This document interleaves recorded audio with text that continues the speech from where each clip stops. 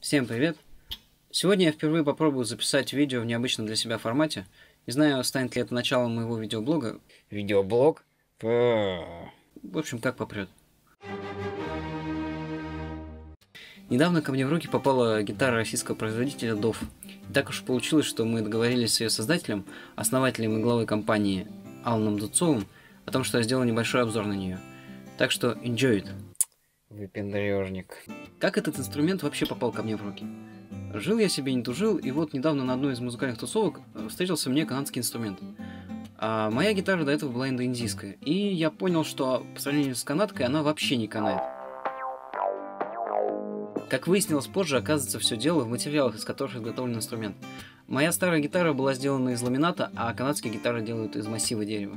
И вот это очень сильно влияет на звук. И сейчас небольшой лайфхак. А, дело в том, что в сегменте недорогих гитар производители, как правило, не указывают что гитара сделана из ламината. На сайте может быть написано, что это красное дерево или ель, но на самом деле это ламинат ели и красного дерева. Если они пишут э, массив, то только тогда это будет массив дерева. Ну и здесь стоит оговориться, что гитара из массива не может никак стоить дешевле э, 15-20 тысяч рублей в зависимости от страны производителя. Важно, чтобы хотя бы верхняя дека была из массива э, дерева, это должна быть ель или кедр, тогда инструмент будет звучать более-менее хорошо. Это я узнал тоже на собственном опыте, э, после того, как у меня появилась гитара Yamaha 700 серии. Теперь непосредственно по этому инструменту. Э, гитара сделана полностью из массива дерева, верхняя дека ель, нижняя дека ябичайка, клен, гриф клен. Все накладки и в том числе накладка грифа сделаны из палисандра. Колки мне производитель неизвестен, на сайте у DOF указан производитель, но в принципе механика хорошая. А, гриф регулируется сверху, анкер э, находится под декоративной накладкой, и чтобы к нему получить доступ, нужно открутить эти три винта. Форма гитары Джамбо э, с вырезом под левую руку. Толщина, в принципе, очень удобная, чуть уменьшена от э, обычного корпуса дредноута. Гриф э, гитары очень удобный, э, профиль достаточно узкий, при этом ширина у верхнего порожка 45 мм в стандартном исполнении и нижний порожек 58 мм.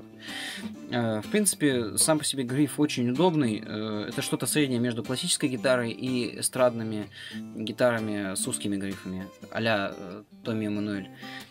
Я попросил Алана заузить верхний порожек до 43 мм. Э, он пошел мне навстречу, заузил, и мне, в принципе, э, удобно играть э, после этого на верхних ладах, почти так же, как на электрогитаре.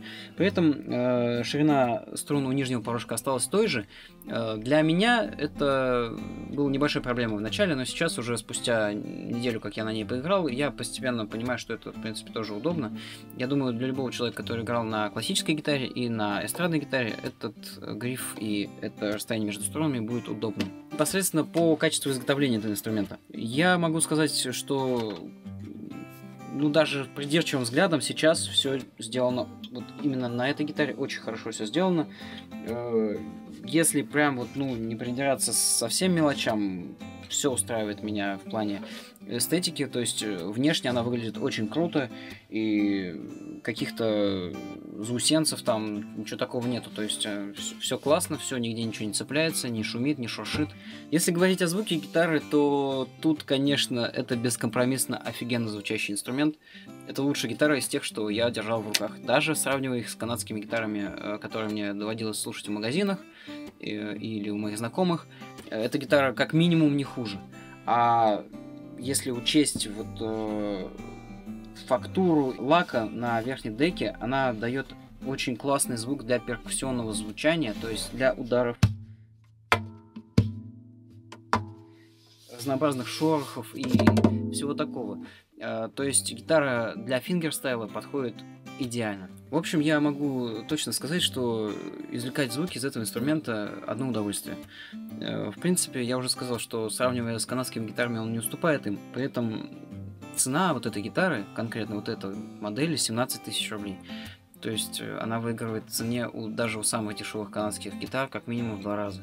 подводя итог этому обзору, нужно сказать, что в любом случае выбирать инструмент вам, э, решать все вам. Но мой опыт подсказывает мне, что это отличный инструмент с точки зрения соотношения цена-качество. Э, он выигрывает у любой зарубежной гитары, в том числе китайских аналогов, э, естественно, у гитары из Канады, из Европы. Э, радует то, что есть э, всегда обратная связь со стороны э, производителя, потому что всегда можно, если какие-то вопросы или какие-то мелочи обсудить, всегда можно с Алланом или написать им на почту, и они всегда отзовутся, ответят. Это очень хорошо. Ну и на этом, пожалуй, можно заканчивать этот нудный обзор.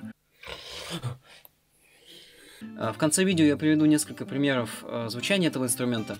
А, поэтому заранее прощаюсь с вами. Надеюсь, это видео было для кого-то полезным и интересным. Всем пока и до скорых встреч на моем канале.